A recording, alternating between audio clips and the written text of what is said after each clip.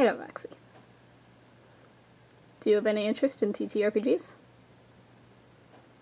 No. Nerd. No, but that's okay. That's okay. I love you. You're beautiful. Hey team. Uh, the video you're about to watch was recorded a while ago, but we decided to post it rather than have it hang in limbo forever. Uh, originally it was going to be posted as part of the Tusken Tales relaunch, but we're still on hiatus for a little bit. Uh, in fact, we're going to be turning off the Tusken Tales Patreon and instead switching over for it to be part of the Team Manticore Patreon. So it's all going to be under the same Patreon, all of the stuff we do, House Fight Dorable, Tusken's Tales, everything else. So this should make it a lot easier to follow myself and Rowan and everything that we do because we won't have two different projects going on. So nothing's coming down off of YouTube and the same price tiers get you the same things on the Team Manticore Patreon. It's just all going to be in the same place. You'll still be paying the same amount to get the magic items and maps and adventures as you did before. So stay subscribed and you'll still get access to all the videos as they come out. If you want early access to the videos when we start doing them again, sign up for the Patreon. Uh, and the Patreon will still, at this point, get you everything that's going on with Team Manticore. Uh, and we will let you know when Tusken Tales is coming back. The Tusken Tales Discord is also going to be merging with the Team Manticore Discord, so it's all going to be the same place. So we're going to have one Patreon, one Discord, uh, still two YouTube channels, uh, because all the branding's there, but we're trying to streamline it as much as possible because trying to keep up with everything was uh, a little bit much for us. And now, on to the video. You want to be part of the video? I have to explain what we're doing to the people. Do you want to explain?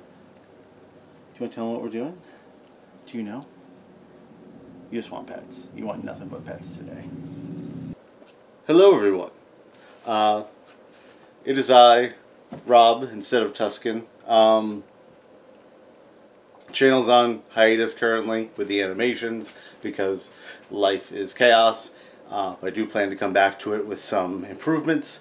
But in the meantime, thought instead of just letting the channel die and have no content, uh, we still have games going on. I'm still playing tabletop with my friends.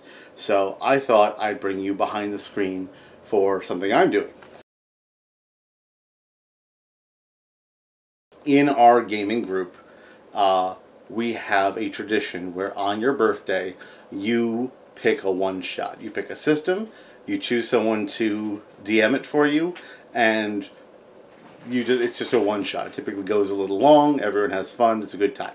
Uh, so this year, I wanted to do something akin to Star Trek, like an episodic sort of uh, space adventure, uh, but with knowing D&D, uh, knowing tabletop, it make it a little silly.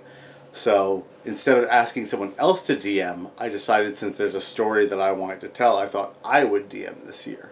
So since I'm DMing my own birthday game, uh, I can bring you into how the planning goes, how the communication goes, and then maybe we'll do some little animatics around the actual game if we can get a recording of it. So the first thing I had to do after I knew I wanted to play a Star Trek game with humor, and also keeping in mind it's a one-shot so I don't want it to be too rules heavy, was pick a system. And there are lots of systems available. I went out and did some research. I got a list of like six of them and whittled it down. Traveller, very good sci-fi system. Uh, a little rules heavy for what we're doing in a one-shot. There's also, there is an official Star Trek RPG called Star Trek Adventures. Reading up on that one, it seems very dry. The, the issue seems to be that it's more like TNG based, whereas TNG, it's where I got into Star Trek. It's my favorite like Star Trek thing that's that's been out, but it's a very reserved show. Uh, at least in the first couple of seasons, there's not like Star in Star Trek. There's there's sex, there's violence, it's exploration in the socialist utopia of the next generation. You don't have so many of those like conflicts, so a lot of it's just like they don't act like people for a while and apparently the system like plays into that so it's all very like it's less about the interpersonal relationships which i didn't want to do uh, lasers and feelings also very highly regarded not quite what i was going for uh, there are also a lot of like getting away with it barely legally Star Trek RPGs like Far Trek. So what we landed on, what I landed on after doing research, was a system called Space Aces. It's a very simple system. I'll put a, a link to where you can buy it in the description. It's like five bucks for the PDF. You've got five stats. You've got uh, it's a very like the rules fit on like a page and a half and the rest of the book is kind of random tables. So if you want to play solo, you can. You can just generate an adventure for yourself, or if you want to play with people, you can do a base plotting out. So I thought that. So we're gonna go with Space Aces. Because I'm an insane person, part of my planning for this is uh, world building, just to just to have it be something that the characters feel like existed before they were there. So, and also like to set the tone a little bit. So uh, here's what I've come up with so far for that. They're not part of the Federation. They're part of the Intergalactic Planetary Partnership. So they have to announce themselves IPP. Uh, I'll like have some alien races that I made for it that kind of fit into the the classic like Terran, Vulcan, Klingon, like smart alien, tough alien sort of things. I have my legally distinct technology I've been making up. Instead of phasers, they have quasar pistols. They have food combinators instead of... I thought it was a little much to give them full-out replicators that could make clothes and weapons and food and all that. So instead it's a food combinator where it combines nutrient pastes with artificial flavoring to make something that looks like the food, even if it doesn't, the texture never quite matches. But it's the closest you can get, so that's what they get instead. Uh, they also have, instead of a tricorder, they have a septcorder because and then I figured out the seven different things it can scan for. because again, insane person putting way too much thought into this. This is a game we'll play for like five hours. I'm going to plan it out for like probably a day and a half. In order to make it feel like an episodic thing, uh, I am throwing an extra thing into character creation where every character needs to have a shared thing with another character, whether it be an experience they had together, or they're in a love triangle of some sort, or there's something that connects them to every other player, so that they're kind of like, we'll skip to like season three, have it be that. So uh, everyone's already got a previous relationship, whether they went to the academy together, whether or not, like, you know, one of them has a scar from the other one from a bar fight, something like that. I also wondered if I should give each crew member a secret, but that's more of a long-term campaign thing. I probably won't do that. So I've started coming up with uh, ship schematics and the crew roster. Basically, with the crew roster, what I'm going to do, none of them, no one's going to be able to be captain. I know who the captain is right now. So no one can be captain, but the rest of the roster, eventually it'll just be, these are the titles, and you just claim your title for your character. So if you want to be the head doctor, there's something for that. If you want to be the lead engineer, there's something for that. If you just want to be an ensign, there's something for that. And then I'll just bump those NPCs out um, and fill it in after everyone's chosen their titles. Um, one of the things that always sticks out with me in Star Trek is the ship's computer. So, uh, this is a thing I'm going to be doing. The ship's computer is called ship.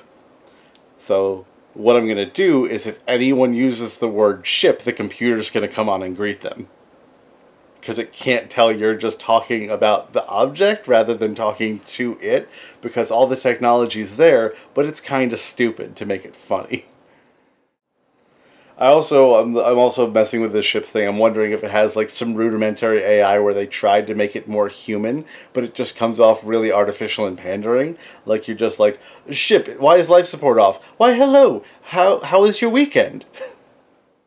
I do have some basic plot things. The hard part about this is one of my players is behind the camera. The good news is Rowan doesn't remember much when I talk especially about game. It just kind of like flies, it bounces off her brain. But I don't want her to know my secrets.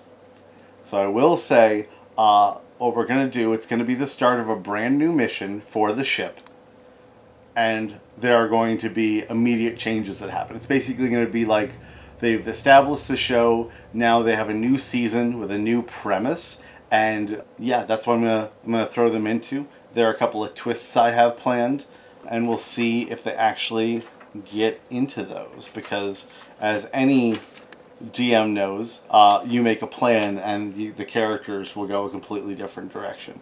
But I'll have a basic plot of what's going to happen and we'll see what they do. If you're new to running a game, this all seems like a lot, but it's a lot of fun for me. So I hope you enjoy this. I hope it helps you design, run your own games. Uh, maybe you decide that your crew is going to do the birthday one-shot thing. Good for you.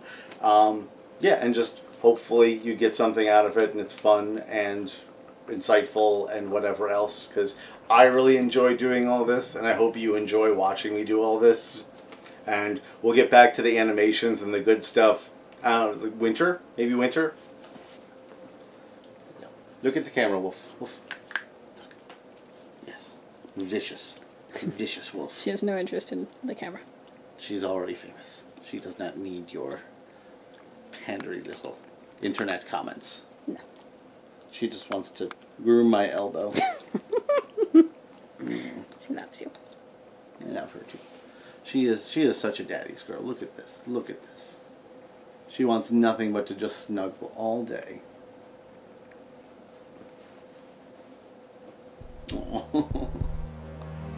You're stuck here. I'm stuck here. Rock on.